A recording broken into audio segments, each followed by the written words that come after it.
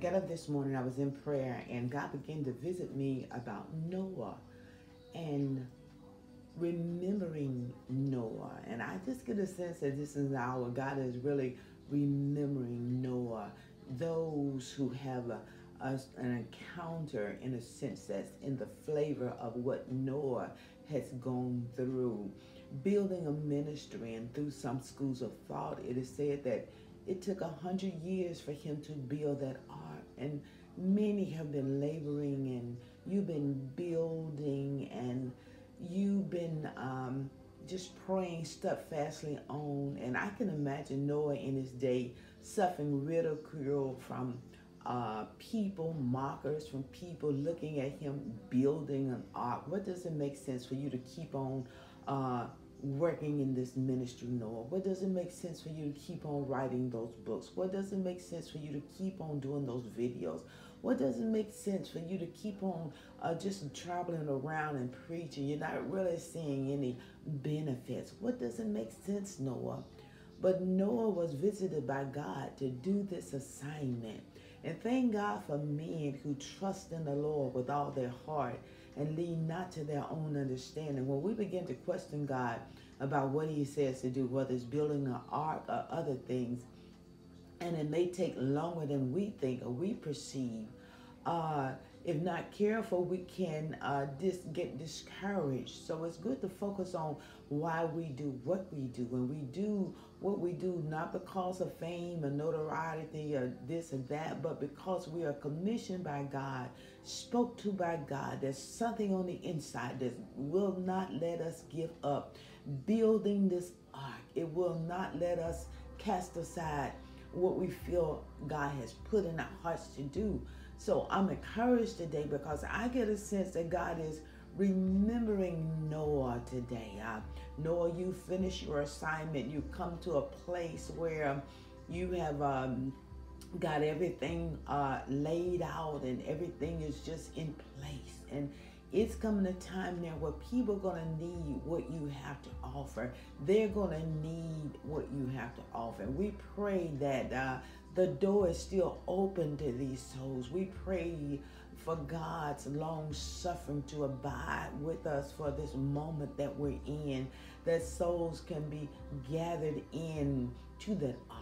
Somebody's ark may be empty today, but all the beauty, if there were only eight souls, you think what God can do with eight souls? He repopulated the whole earth with eight souls.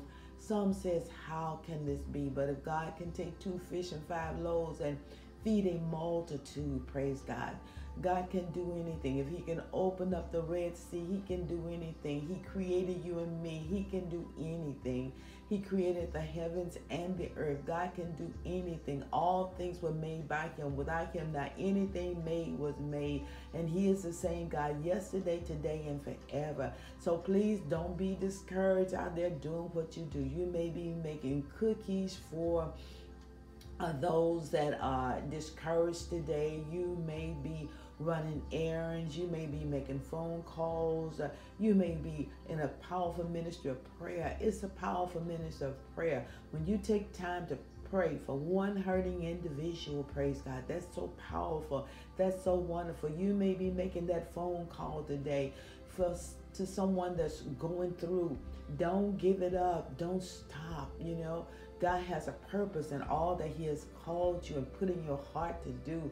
So if you begin to look at what you do and you begin to estimate it according to the eyes of a, a popular opinion, uh, what is that we can miss God, praise God. We can miss the moment because we are kingdom workers. We're not working for this world here. We're working for the unseen realm, for the kingdom of God, because we know that this heaven and earth will pass away, praise God. But the word of God will still be standing, and we want to be standing, praise God, with Jesus. We want to be standing on the Lord's side. And so continue to work and fight the good fight of faith. God is remembering you today. He is remembering you today. I get a sense that there are those that you have labored, you've given your all, you've done what you know to do, and you have done it sincerely. God is remembering you today. I get a sense when I think about um, the book of Esther and how the king couldn't sleep that night. He looked in the books and he saw that Mordecai, Esther's uncle, had done a great blessing for the kingdom. And he said, This man has not been rewarded. I get a sense that this is the day, this is the year that God is going to come through. He is going to reward you. God is coming through. He's going to encourage you like nobody can. God is going to affirm you like nobody can. There's nothing like having God to affirm you. And it may not be through who you think uh, should affirm you or uh, could affirm you, but God has a way. And what we want to do is receive the affirmation of the Lord. We want to receive the blessings of the Lord.